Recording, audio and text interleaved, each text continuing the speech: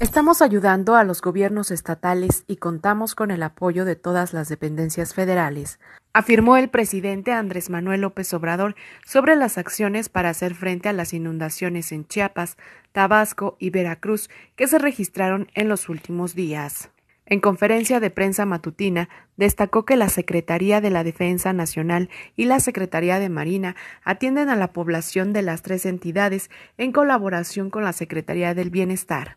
La Coordinación Nacional de Protección Civil dirige a todas las dependencias del Gobierno federal, entre las que también se encuentran la Comisión Federal de Electricidad, Petróleos Mexicanos y la Comisión Nacional del Agua. Resaltó que los gobiernos de la Ciudad de México, Morelos y Puebla apoyaron a Tabasco, Veracruz y Chiapas con el envío de equipos especiales para sustraer el agua. El mandatario dijo que en Tabasco la lluvia alcanzó volúmenes históricos y celebró que las precipitaciones se redujeran considerablemente. Al mismo tiempo, comentó que el propósito para los siguientes días es la disminución del potencial de lluvias.